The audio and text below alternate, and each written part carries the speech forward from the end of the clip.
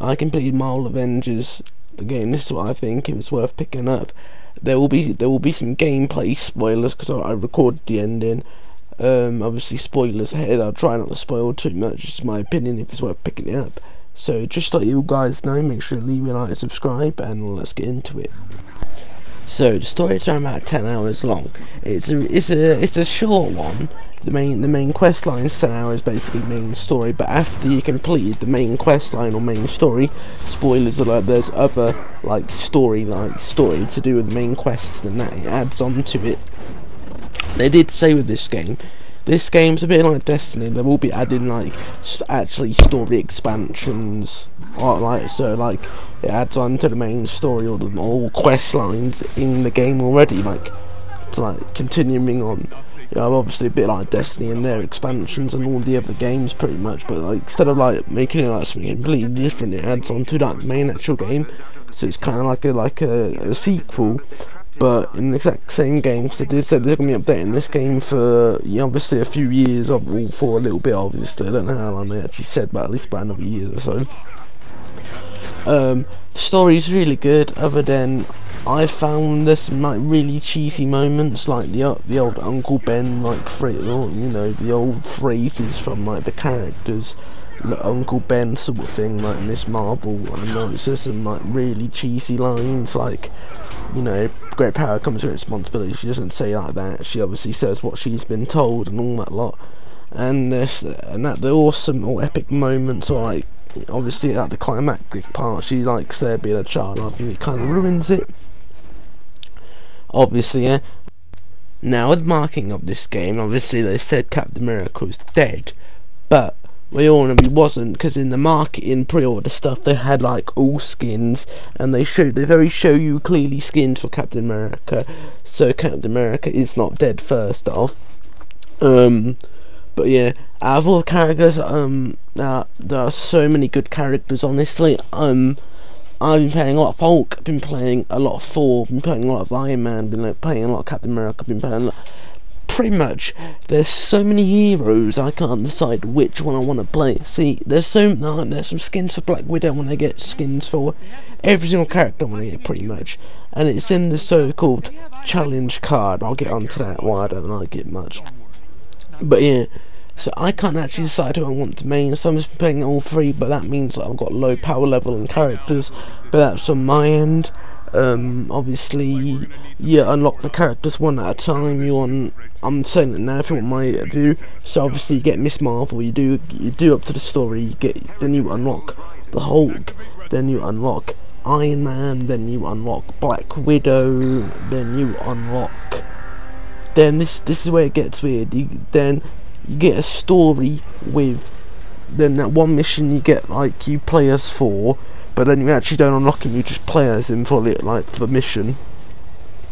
Then after that, you go into space as Iron Man. Yeah, spoilers alert. You go into space as Iron Man. Find out Captain America is alive, and that then that blooming Monica, the main. If you want, if you want to know the story, watch a story video somewhere else. Pretty much, uh, Monica's been using Captain America's super soldier serum blood, pretty much, to keep um, that scientist alive. Because obviously, yeah, he hates, you know, blooming superpower, you know, superheroes and that, because they thinks they're disease and everything. And pretty much she kept him alive using super soldier serum. He didn't know. Then he kills Monica and that, but Monica comes back at the end and she's still alive, and that's it. That's like it's crazy. We want to know the whole story thing. Watch another video on it, but yeah. So with that, I want to talk about skins and like character customization. So you you've actually got a level. So you got your main level. You you know you you got you got like skill trees. You got your primary skill tree. You got your specialist skill tree and your prime master skill tree. I've not figured out the prime master skill tree. Um, the um, specialist skill tree is where you level up your main ability, you need two side abilities, and obviously your primary ability is just melee weapon damage and that. And with with like the levels, there's some really nice set pieces at the beginning, at the end. Um, just there's a ton of good like set pieces. I like the one with Iron Man near the start. I like the one at the end. That's pretty good. I like all the set pieces. It's so so good. It's so much fun you're watching this cutscene. This is the end game, but pretty much this game is good. There's lots of content. There's there's a lacking of bosses, but you get to fight the bosses again. You can there's like another Taskmaster quest line, another Abomination quest line, and obviously there's the war bots and that. I actually um yeah, and you can go around the helicarrier or like I forgot what it's called on that, and go into all the characters' rooms, and you can try it at the end of the game. You can try pick up Thor's Hammer. Obviously, Captain gets to the move clearly and they've all decorated it. There's people to talk to. There's obviously vendors where you buy like gear, in-game credits, and then obviously e outfits and emotes of in-game credits and that. And I just think it's so so so good. It's definitely worth a pickup. If obviously if you just want to play the story, uh, or if you want to like grind into it like a game like Destiny, because I've you know that it's been said this game is Destiny out the guns, and I agree it is, and I quite like it like that. It's it's a great game, but because it's Marvel's Avengers, obviously it makes it a lot better for me, really. And so yeah, if you watch my beta opinion um, video about this game, as you said, I had a few complaints. One, there, there, there's no targeting like, like Dark Souls targeting. There is that you can target now, and they they made the Taskmaster boss fight harder and the Abomination fight harder, which is a good thing. And now we're gonna get into the things I don't like about the game, which obviously ain't too bad. They can easily fix it and stuff they need to add. So like, don't take oh my god, the game's bad, I can't play it, sort of thing. But yeah, let's get into it, guys. So maybe you're thinking, oh, what was so bad about the game? There's nothing too bad. I just think there's stuff they just need to add, and stuff obviously they um, need to change, like battle passes or the quote-unquote challenge cards, which is pretty much you do annoying challenges to do a battle pass for every single character. Now, as as you said, I can't pick my mind what character I want this skins I want the Black Widow and blooming whole blooming Thor, blooming Iron Man, Miss Marvel and that. They're all got in the battle pass. They're all got level 40 each, and you've got like these four, like these two daily quests, you know, challenges, and these two, and these two weekly quests to do. Now, obviously, to do them, you gotta play as the individual characters, which is good for like making you play as individual characters but if you if you obviously you want to put all your time into one character, but you want those, skins, you can't. You've got to work on all the characters and the challenges. There's some easy challenges, and then there's some annoying challenges. Instead of the challenges like like you know being oh kill 100 enemies or something like that.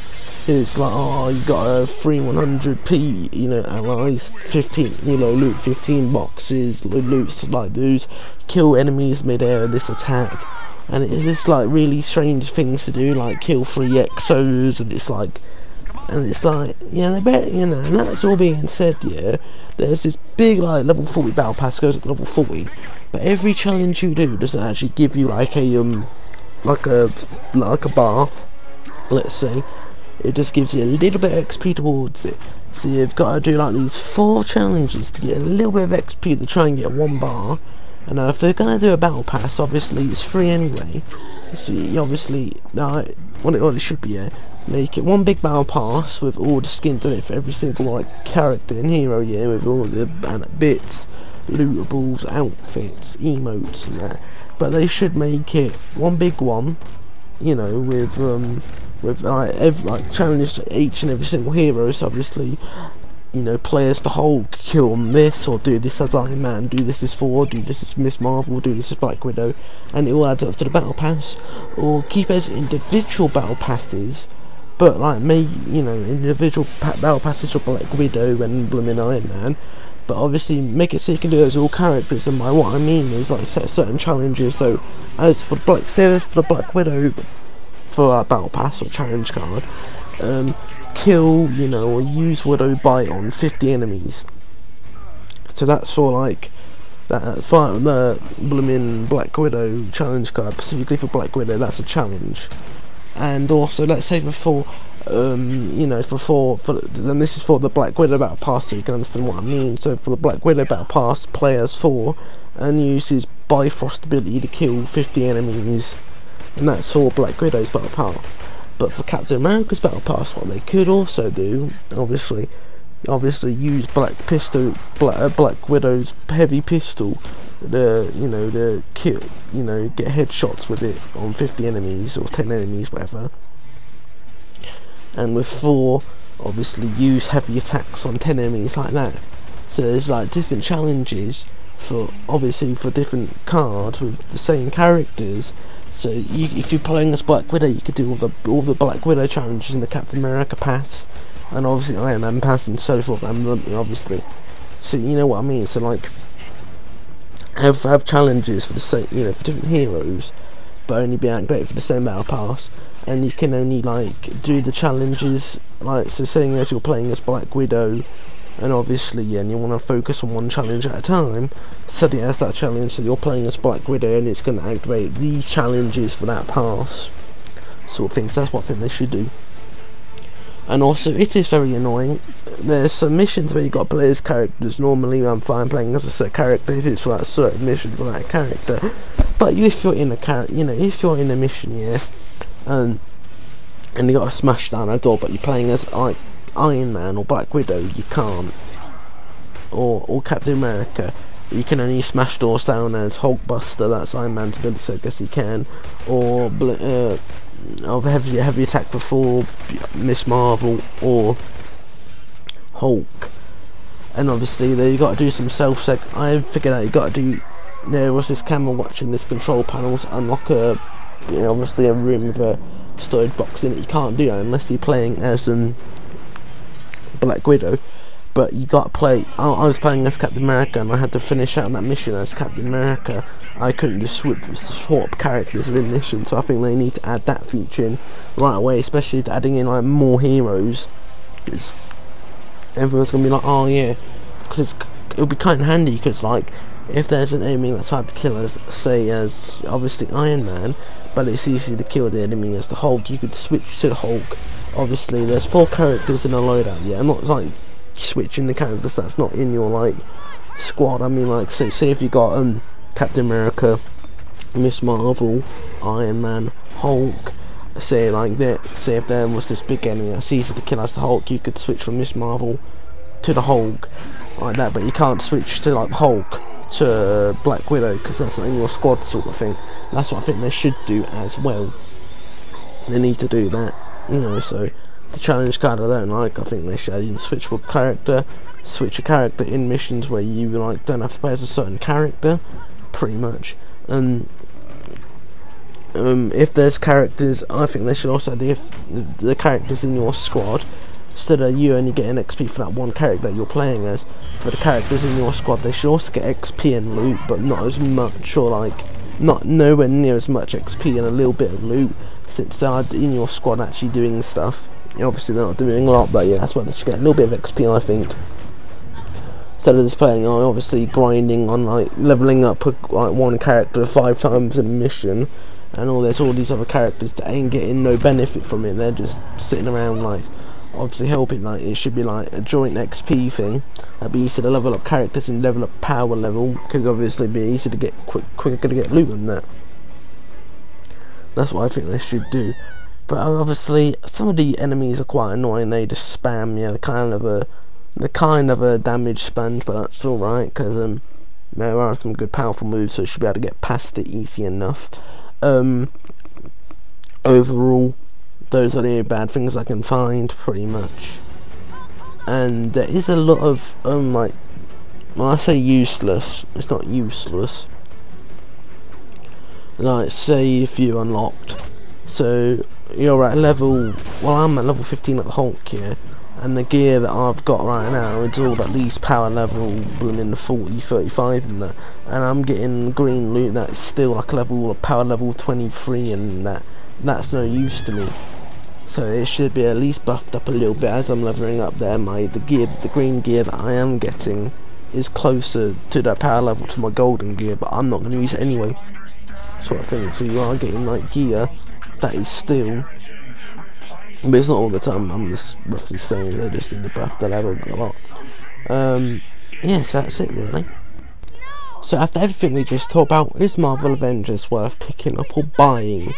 Yes, yes it is. I love it. It's a great Marvel game. We barely get great Marvel games. Square Enix got it. Um, so uh, let, let me talk about a little bit of the cast here.